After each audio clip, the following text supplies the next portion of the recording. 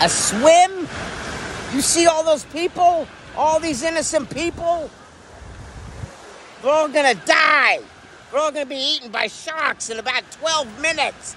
And I don't have the time to save anyone's lives. I have no time. I'm too tired. Oh, and plus, you see that over there? Yeah, what about it? You it? see that? Yeah. That's a volcano, and it's gonna erupt.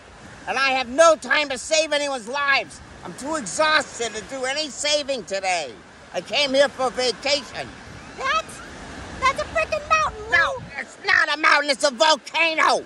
And it's very angry and it's gonna erupt. I promise you, I'm too tired. I'm going up to my room. Go ahead. Go. Bye bye. Yeah, you go too. Go wherever you're going. Bye bye, Lou. Yeah, I'll see you on the news.